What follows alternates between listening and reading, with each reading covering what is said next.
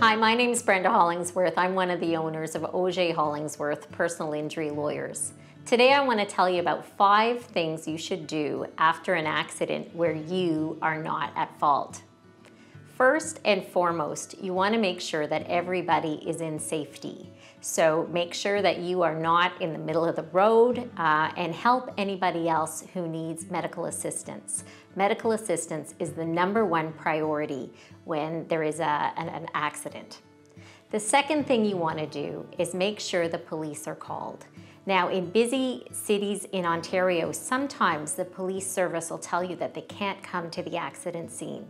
But the fact is, if there's more than $2,000 worth of damage to the vehicles, which most of the time there is because that doesn't take very much, or anyone feels any injury at all, the police are required to come. So if you have a headache or a sore neck or you feel like you hit your knee, make sure that the police come. Tell them that there are injuries and they will come. And uh, you may not feel this full severity of your injury at the scene, but if you're feeling something, there is a very good chance that there's going to be an injury that emerges. The third thing that you should do at the scene of an accident is secure any witnesses that may have seen the accident. Witnesses are really important later on when it comes time to prove who was at fault for the accident. So if there is a bystander, somebody who came to your aid, get them to put their name in your phone or get them to text you.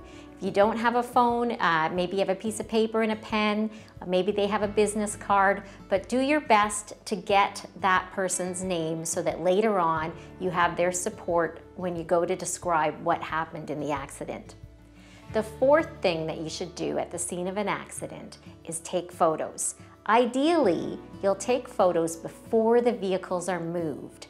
You want to be able to show where the vehicles came to rest so that you can help show how the accident happened. You should also take uh, pictures of the damage to the vehicles, uh, your vehicle and the other vehicle. Uh, if there are skid marks on the road, try and get pictures of that or any debris on the road. I also suggest taking pictures of the other vehicle's license plate and uh, the um, insurance information of the at-fault driver. Finally, our recommendation is at the scene of the accident, you avoid that very, very Canadian thing of saying you're sorry. You may well be very sorry that an accident happened and it may be a natural instinct for you to want to apologize. You can be empathetic and sympathetic and helpful without taking responsibility for the accident at the scene. So those are five things that Auger Hollingsworth recommends that people like you do at the scene of an accident. I hope you don't get into one, but if you do, there's our advice. Thank you very much.